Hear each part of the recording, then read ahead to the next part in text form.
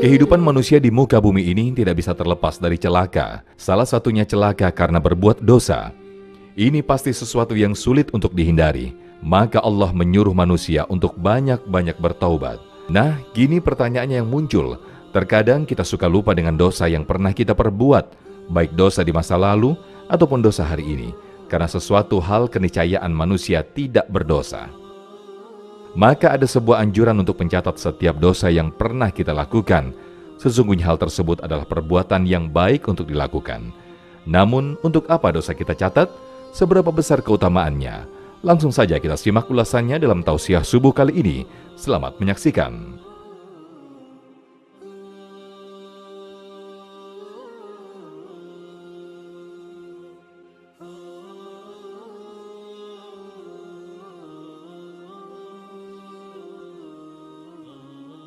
بسم الله الرحمن الرحيم السلام عليكم ورحمة الله وبركاته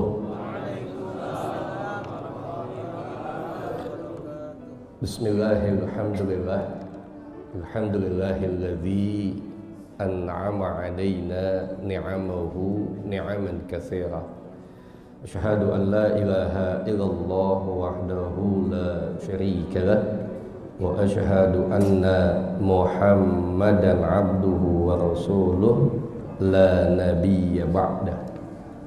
اللهم فصل وسلم وكرم وعظم على هذا النبي الكريم سيدنا وحبيبنا وشفيعنا ومولانا نبينا محمد. وعلى آله وأصحابه والتابعين لهم بإحسان إلى يوم الدين أما بعد Jamaah yang dirahmati Allah, puja dan puji kita tujukan kepada Allah. Salawat dan salam senantiasa kita curahkan kepada pemimpin kita Habibun al-Azam Sayyiduna Muhammad sallallahu alaihi wa alihi wa wasallam Ya mudah-mudahan dengan sholawat kita, dengan ibadah kita, dengan majelis ta'lim kita juga ini senantiasa kita minta kepada Allah agar suatu saat nanti kita bisa berkumpul bersama dengan Nabi Muhammad. Tapi Allah dalam kesempatan ini yang saya yakini, saya husnudzan di antara kita semua yang hadir ini pasti tidak ada satupun yang ingin celaka dalam hidupnya. Karena siapa sih yang mau celaka? Otomatis kita akan banyak mencari jalan untuk selamat, bukan celaka. Yang mudah-mudahan Allah jadikan kita semua hamba-hamba Allah yang selamat. Bukan cuma di dunia, tapi juga selamat di akhiratnya Allah Subhanahu wa taala.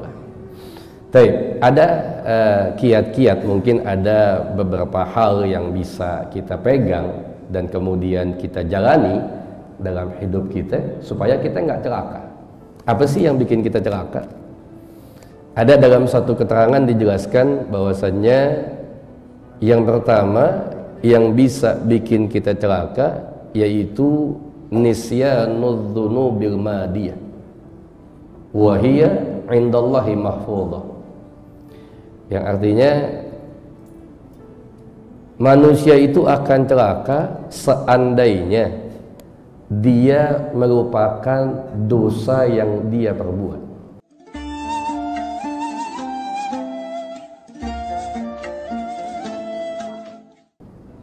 Ya.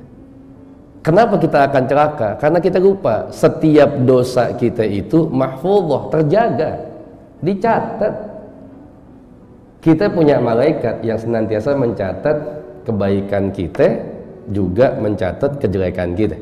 Ya. Dan subhanallah ya artinya baiknya Allah Allah ciptakan malaikat tuh nggak sama kayak kita. Malaikat tuh nggak punya nafsu. Dia hanya menjalankan perintah Allah tanpa melihat siapa yang berbuat. Ay, artinya sekalipun yang berbuat kebaikan adalah mereka yang ahli maksiat yang betul-betul senantiasa maksiatnya top deh ketika dia berbuat baik tetap sama malaikat akan dicatat dengan kebaikan ya Coba kalau seandainya malaikat model kayak kita gitu yang punya nafsu. Yang kadang-kadang sama teman bawaannya gedek aja bukan main. Ya.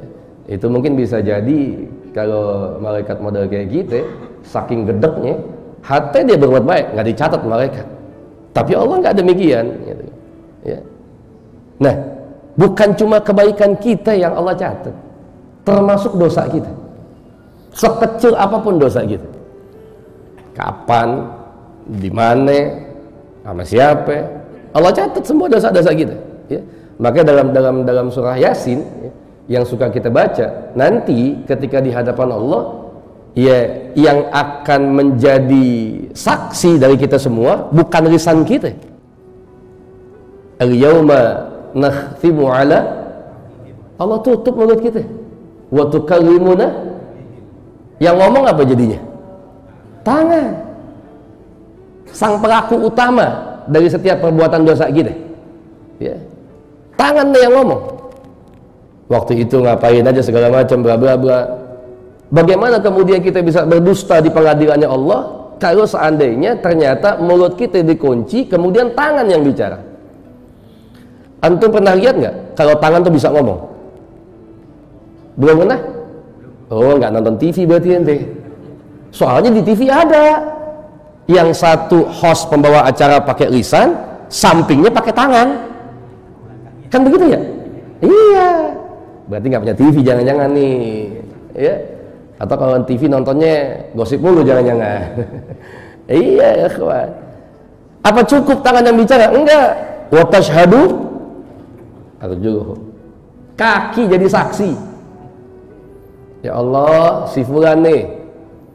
Tanggal sekian berangkat. Ke mana? Nonton di bioskop. Sama siapa? Sama si Anu. Terus ngapain aja? Cerita tuh tangan. Kata kaki iya. Mau bagaimana dosanya kita? Ya Taib, ya jadi kenapa kita mesti catat dosa-dosa kita supaya kita ingat nih dosa apa aja yang udah kita perbuat dan tidak mengulangi di kemudian harinya.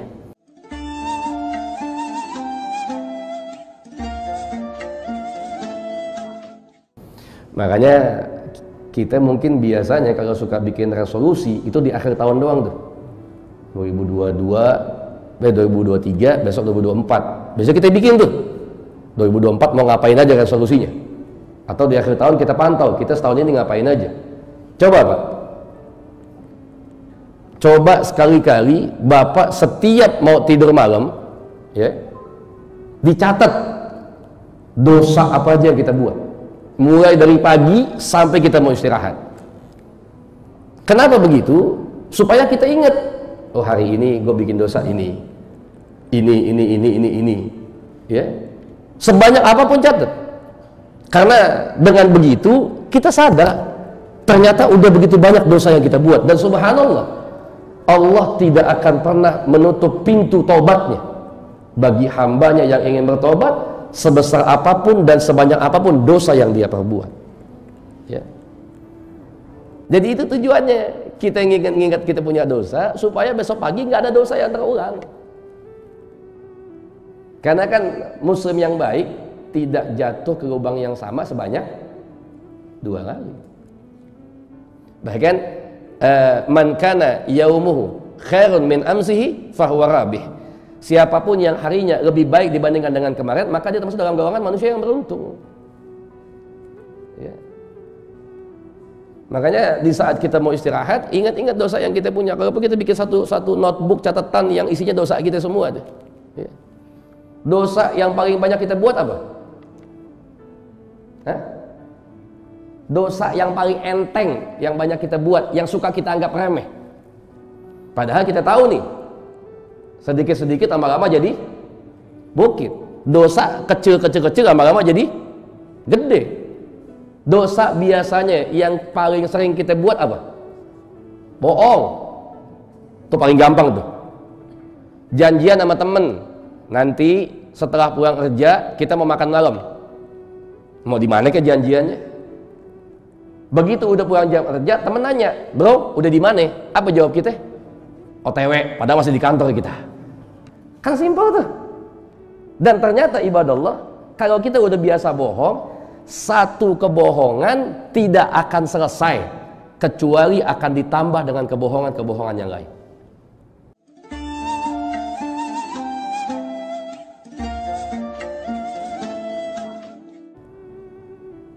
Percaya? Ente kalau dia bohong sekali, pasti akan ada dua tiga buat nutupin bohong yang di awal. Dan penyakitnya orang tukang bohong dia sendiri lupa pernah nggak bohong apa sementara yang diajak ngomong masih ingat dengan kebohongannya betul simpel deh misalnya saya satu ketika ditanya sama Ustadz Imam atau Ustadz Yusuf Beb, udah makan belum? Sebetulnya belum. Tapi buat buat jaga gengsi masa bilang belum makan gitu kan? Udah. Simpel kan? Bohong nggak? Berapa kali? Satu. Selesai nggak? Belum tentu. Ditanya lagi Ustaz Yusuf. Makannya pakai apa? Nambah nggak bohong saya? Nambah. Orang belum makan. Karena sok-sokan pakai bilang udah makan, cuma buat jaga gengsi doang. Dari bohong satu, nambah kedua. Pakai apa tadi ya? Ayam. Yang belum makan. Selesai nggak bohong saya? Enggak, ditanya lagi. Makannya di mana? Tuh, penyakit satu bohong tuh. Ya mau nggak mau saya mesti tutupin bohong di awal dong. Makanya di mana? Tuh di masakan itu dah gitu loh.